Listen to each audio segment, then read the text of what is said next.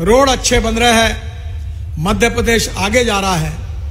और इसलिए मुझे विश्वास है कि मध्य प्रदेश का रोड इंफ्रास्ट्रक्चर पहले तो मध्य प्रदेश में हम तीन लाख करोड़ के काम कर रहे हैं। ग्रीन एक्सप्रेस हाईवे बना रहे हैं। आपका जो उज्जैन का क्षेत्र है, उसको एक मुंबई दिल्ली एक्सप्रेस हाईवे से जोड़ रहे बड़े बड़े पाँच ग्रीन हाईवे पचास हज़ार करोड़ के मध्य प्रदेश में बन रहे हैं। अभी तक दो लाख करोड़ के कामों का शुभारंभ हुआ है। और इस दस साल में मैं आपको वचन देता हूँ कि मध्य प्रदेश में तीन लाख करोड़ के काम हम पूरे करेंगे।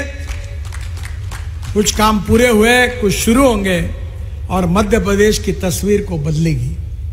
आदरणीय मोदी जी के नेतृत्व में मध्य प्रदेश की प्रगति हो, समृद्ध हो, संपन्न हो, मध्य प्रदेश का विकास हो, गाँव गरीब मजदूर किसान का कल्याण हो और मध्य प्रदेश पर्यटन के दृष्टि से, खेती के दृष्टि से हमारे देश में एक शक्तिशाली राज्य है।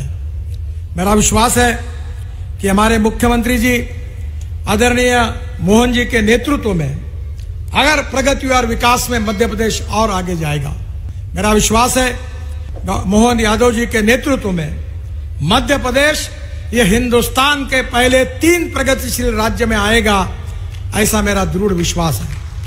और इस कार्य में भारत सरकार की ओर से, मेरे विभाग की ओर से जो भी उनको सहयोग लगेगा, वो पूरा करने की कोशिश हम करेंगे। ये मैं उनको विश्वास दिलाना चाहता हूँ।